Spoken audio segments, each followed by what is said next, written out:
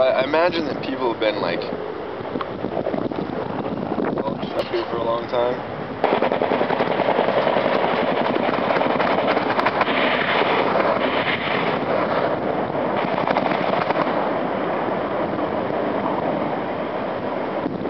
We're bored with you. Oh, hey, stupid cobra.